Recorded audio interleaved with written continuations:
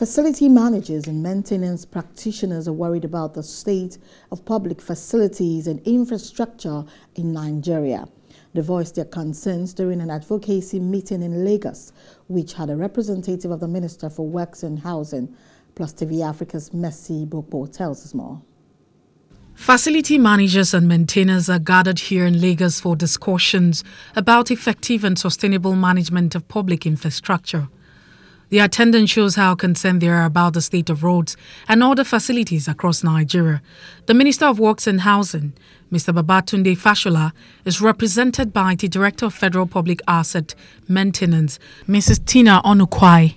With the approval of the National Public Buildings Maintenance Policy by the Federal Executive Council on 9 January 2019, the facility management and maintenance of facilities is beginning to gain wider acceptance by the public and private sector.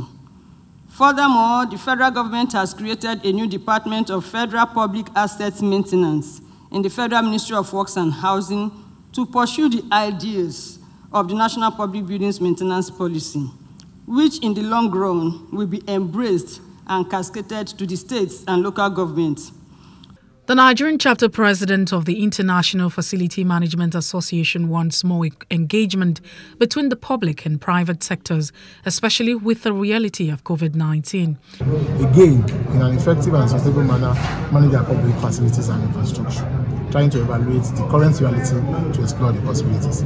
So, for us in IFMA, it's a continuous engagement on our part. It's also our renewed purpose to deepen our capacity around knowledge development to also enlighten the public from this area of initiative to know that those public facilities are also owned by us. A major takeaway from the discussion is that government policy is instrumental for behavioral change towards facility and infrastructure management. Another is the importance of paying attention to different stages of construction and design. Mercy Bokbo for Plus TV Africa. Hello. Hope you enjoyed the news. Please do subscribe to our YouTube channel and don't forget to hit the notification button so you get notified about fresh news updates.